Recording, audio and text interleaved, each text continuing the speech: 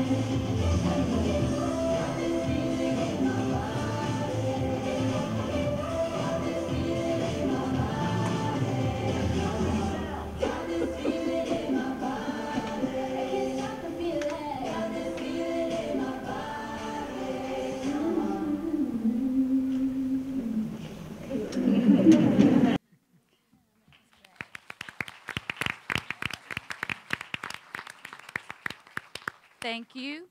We thank the multimedia class at Chapin High School for helping us produce that video. We partnered with them. And thank you for sharing the joy with us. Ms. LaForest, thank you for that welcome and that uh, musical display. And I saw a lot of movement from the staff over here. At any time, I thought they were going to jump up, which you're welcome to do, but I saw a lot of stars there. We had a night of dancing with the stars here. Thank you so much. That brings us to our superintendent's report, item number 11. Dr. Hefner, I'll turn it over to you.